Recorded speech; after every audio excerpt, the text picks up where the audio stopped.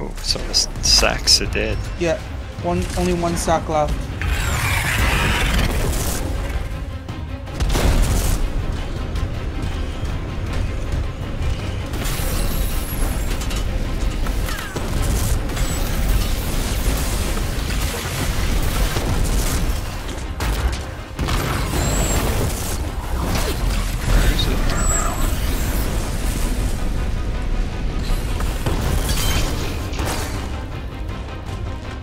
Well, I'm stuck in spider web.